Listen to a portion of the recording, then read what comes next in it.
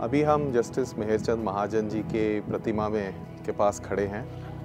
इसका इसकी स्थापना इधर खनियारा में हमारे C I I M C M trust multi skill training institute की में स्थापना हुई थी 5 जनवरी 2023 को। श्री सुखविंदर सिंह सुक्खू जी जो हमारे मुख्यमंत्री हिमाचल के हैं, उनके द्वारा इसका स्थापना की गई उस दिन। और जस्टिस मेहरचंद महाजन के बारे में मैं आपको थोड़ा बताना चाहूँगा कि जस्टिस मेहरचंद महाजन का जन्म 1889 में टिक्का नगरोटा, जो कि नूरपुर तहसील में पड़ता है, वहाँ के एक छोटे से गाँव में हुआ। और पहले 12 साल में वो किसी अलग गाँव में रहे, वहाँ के कोई राजपूत ख़ानदान के साथ। क्योंकि उनके पिता को ये बताया गया था उनके जन्म पे कि वो उनके लिए भाग्यशाली नहीं होंगे अगर 12 साल से पहले उनका, उनको देखा अगर उन्होंने उनके पिता ने। पर 12 साल के बाद वो वापस परिवार में आए। उन्होंने अपनी बाकी जो बेसिक हाई सेकेंडरी एजुकेशन वगैरह की थी, धर्मशाला और पालमपुर में की। उसके बाद वो लाहौर में गए। उन्होंने वहाँ अपना लॉ किया, लाहौर से।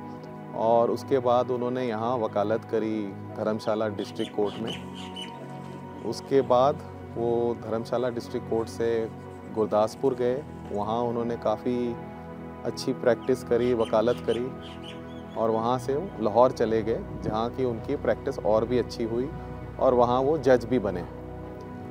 और उस दौरान म्यूटनी हुई थी, जो इंडियन नेवी आए आई रॉयल नेवी की म्यूटनी हुई थी। उस कमेटी में भी उन्होंने शामिल किया, जहाँ की उन्होंने उसका जजमेंट निकाली। उसके बाद जम्मू और कश्मीर में वो प्रधानमंत्री रहे, महाराजा हरी सिंह जी के। और उस दौरान बहुत ही अहमियत का वो समय था, जबकि उन्होंने जम्मू और कश्मीर का एक्सेशन इंडिया में कराया। और आज आप देख रहे हैं कि जम्मू और कश्मीर इंडिया का एक पार्ट रहा। वो रेड क्लिफ कमीशन में इंडियन नेशनल कांग्रेस के नॉमिनी रहे और उनका काफ़ी महत्वपूर्ण रोल रहा कि उन्होंने गुरदासपुर डिस्ट्रिक्ट इंडिया में शामिल किया। नहीं तो ये पाकिस्तान में जा रहा था और उसी की वजह से आज हमारे को इंडिया और जम्मू कश्मीर के बीच में कनेक्टिविटी है, जिसे चिकन नेक कहते हैं। उसके बाद वो सुप्रीम कोर्ट, जो कि हमारा मुख्य न्यायालय है, उसमें वो न्यायाधीश रहे और चीफ जस्टिस ऑफ़ इंडिया भी बने। उस दौरान अपने करियर में वो डीएवी मैनेजिंग कमेटी के 10 साल प्रेसिडेंट रहे। वह और भी उनके अन्य महत्वपूर्ण उन्होंने पोजीशंस होल्ड करी। और काफ़ी पंजाब सेनेट के भी रहे और कई जगह वो रहे। उनकी याद में मेरे पिताजी जो कि लेट श्री विक्रम महाजन जी जो कि यहाँ के मेंबर ऑफ़ पार्लियामेंट रहे और मिनिस्टर भी रहे, जिन्होंने चमेरा प्रोजेक्ट की स्थापना करी अपने दौरान और कांगड़ा एयरपोर्ट की भी उन्होंने पास करवाया प्रोजेक्ट। कई ऐसे गज के प्रोजेक्ट और बनेर के प्रोजेक्ट जैसे उन्होंने यहाँ अपने पावर मिनिस्टर होने के दौरान किए। उन्होंने इस ट्रस्ट की उन्नीस सौ बहत्तर में स्थापना करी, जिसका मुख्य उद्देश्य था कि ये किस तरह जो हमारे पिछड़े और गरीब जो हमारे सोसाइटी में हैं, उनको किस तरह हम हेल्प करें ताकि वो सोसाइटी में आगे बढ़ें।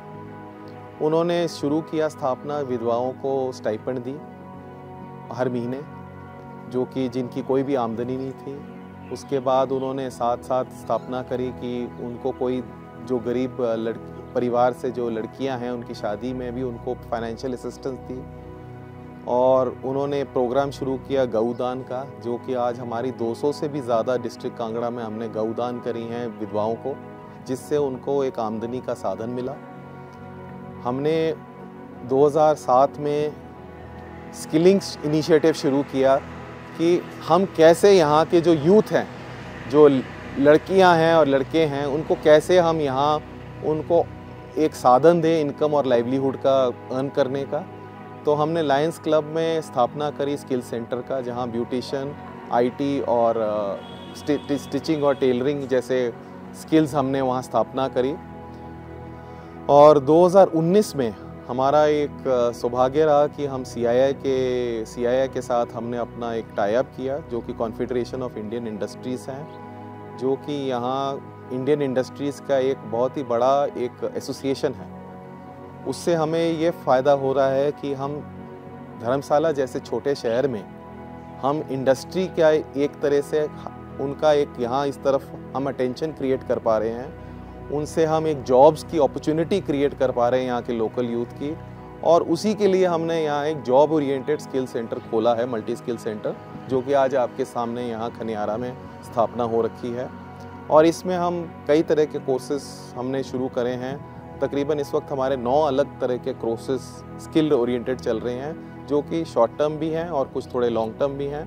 ये इंडस्ट्री के साथ शुरू किया है, जैसे सिंगर है स्नाइडर इलेक्ट्रिक है जेसीबी है और अन्य ऐसे नॉन ब्रांड्स हैं जो कि यहाँ इंडस्ट्री पार्टनर्स हैं उन, उनकी सहयोग से हम ये स्किल सेंटर में कोर्सेज चला रहे हैं। इस स्किल सेंटर में जब ये यहाँ से ट्रेनिंग लेके जाते हैं इंडस्ट्री असेसमेंट करती है और उसके बाद उनको जॉब्स की एक अपॉर्चुनिटी भी मिलती है ताकि वो अपने परिवार को एक तरह से एक नया आमदनी का साधन बनाए।